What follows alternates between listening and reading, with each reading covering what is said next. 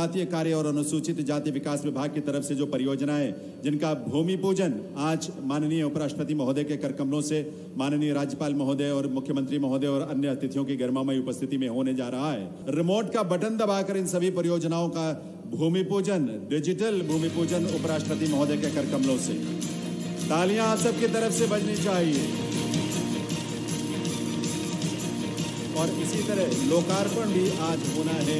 माननीय उपराष्ट्रपति महोदय के कार्यक्रमों से होने जा रहा है।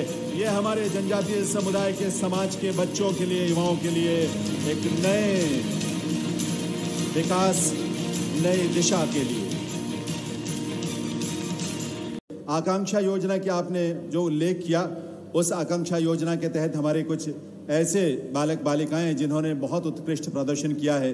नीट के, नीट में सफल होने वाली वर्षा उइके को, जिसका उल्लेख माननीय मुख्यमंत्री महोदय ने किया घोगरी जिला मंडला से जिनका संबंध है। और नीट की परीक्षा में सफलता प्राप्त की, आपका आशीर्वाद आपकी तालियों के रूप में मिलना चाहिए देवी सज्जनों, वर्षा उइके के लिए और ऐसे सभी विद्यार्थियों के लिए। और जेई की मेन एडवांस परीक्षा में जो चयनित विद्यार्थी हैं, उसमें आदित्य कबरेती आमंत्रित करता हूँ आदित्य आदित्य को मेघा सिवनी जिला छिंदवाड़ा से इनका संबंध है और इन्होंने भी बारहवीं गणित संकाय से प्रथम श्रेणी में उत्तीर्ण कर राष्ट्रीय स्तर की प्रतियोगी परीक्षा जेई एडवांस में 2022 में सफलता प्राप्त की। तालियों के रूप में आपके आशीर्वाद ज़रूर मिलना चाहिए। जेई एडवांस में ही सफल होने वाले चयनित छात्रा शिव कुमारी बैगा को, जिनका उल्लेख मुख्यमंत्री महोदय ने किया शिव कुमारी बैगा, जो कि ग्राम पडरिया, सुहागपुर तहसील जिला शहडोल की निवासी हैं, सुपुत्री हैं, स्वर्गीय रामकरण बैगा की। उन्हें उपराष्ट्रपति महोदय के करकमलों से यह सम्मान। तालियाँ भरपूर होनी चाहिए, आप सब की तरफ़ से होनी चाहिए। अन्य विद्यार्थियों को भी यह सम्मान मिलेगा, उनका भी मान बढ़ेगा। शिव कुमारी बैगा। राजा शंकर शाह और कुंवर रघुनाथ शाह जी का स्मारक ठीक उसी स्थान पर बनेगा।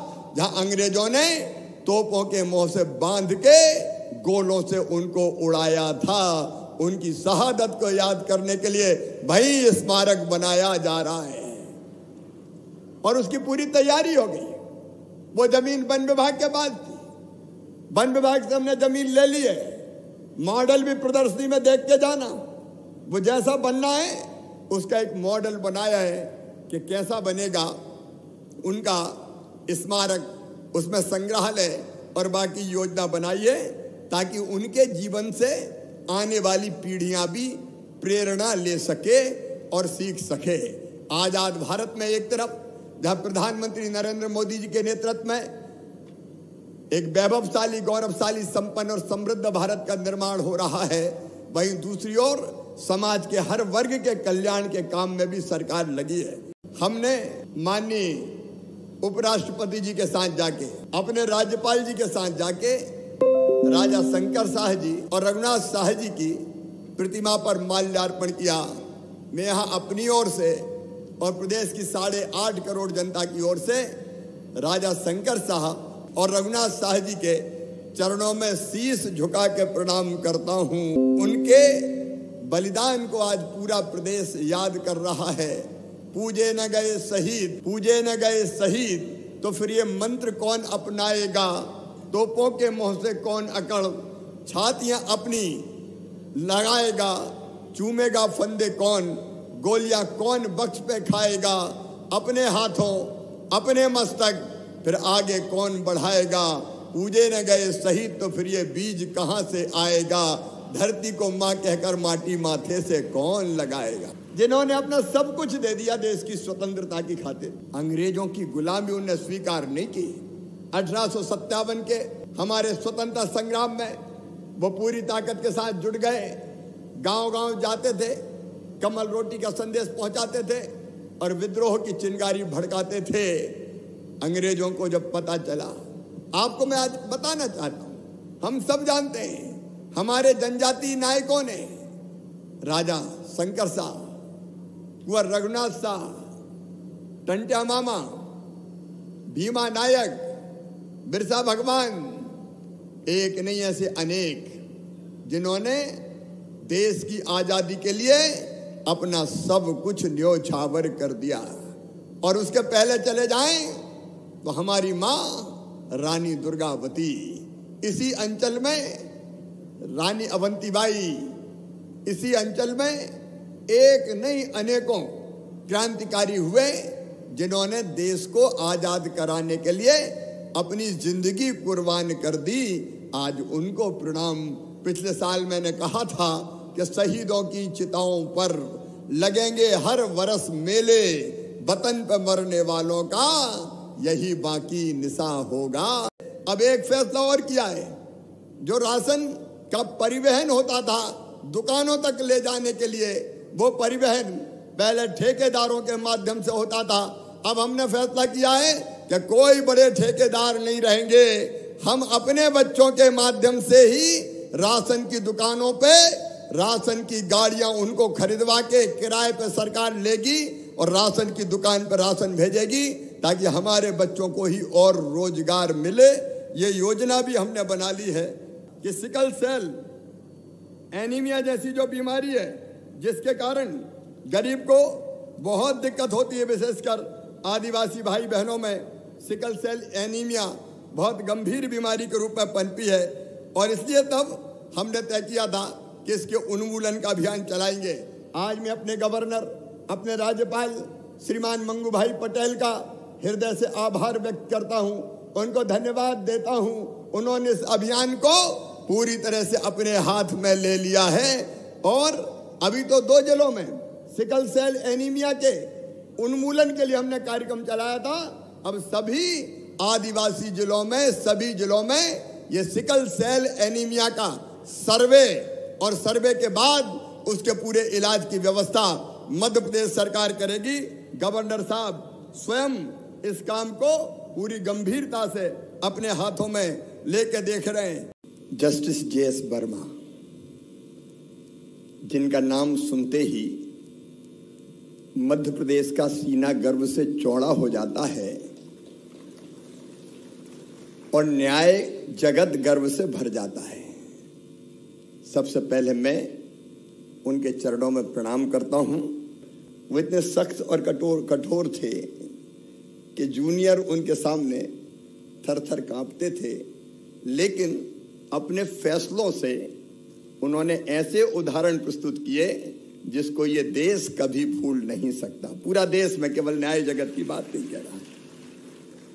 उनके कई फैसले ऐसे थे जिन्होंने ये स्थापित कर दिया कि rule of law rule by law को कैसे फॉलो किया जाता है।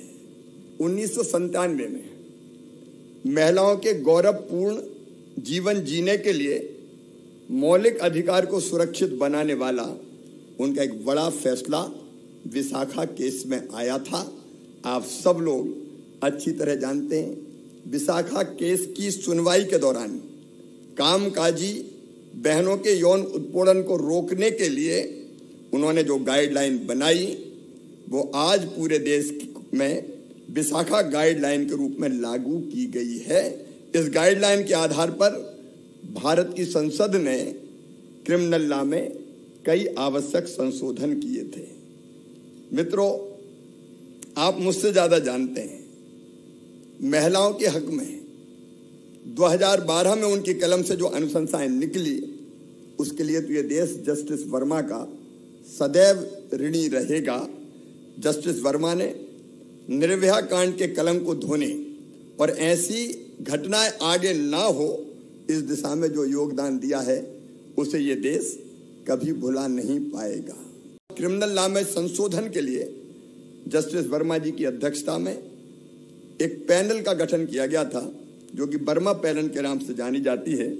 इस पैनल द्वारा जो अनुशंसाएँ की गई, उनको स्वीकार करते हुए केंद्र सरकार ने कानून में आवश्यक संशोधन किए थे और वे कुछ ऐसे संशोधन हैं जो भारतीय न्याय व्यवस्था में मील के पत्थर के रूप में जाने जाते हैं। सचमुच में हम सबके मन में एक बड़ी चिंता है।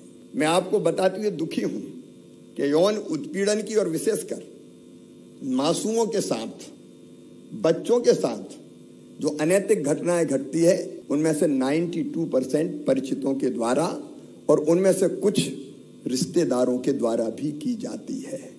मध्य प्रदेश में हमने कानून बनाया मध्य प्रदेश विधानसभा में।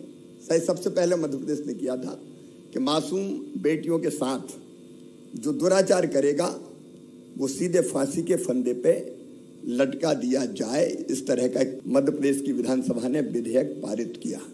सजा कई लोगों को हुई।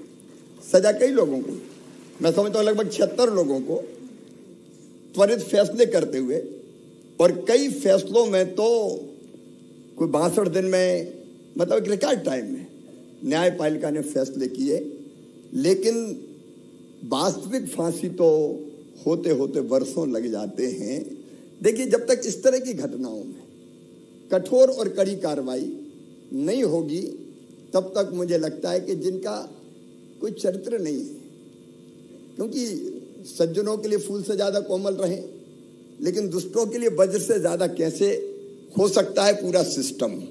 और अंततः न्यायपालिका जिस पर देश का सबसे ज़्यादा भरोसा है, सचमुच में आज भी ये कहते हुए गर्व होता है कि आम आदमी आज भी आँख बंद करके किसी पर भरोसा करता है तो वो भारत की न्यायपालिका पर भरोसा करता है। भरोसा करता है। उसको लगता है कि कोर्ट में मामला है मतलब न्याय होगा ही होगा। और इसलिए ऐसे कुछ प्रश्न हैं, जिन पे हमको और गंभीरता से विचार करने की आवश्यकता है।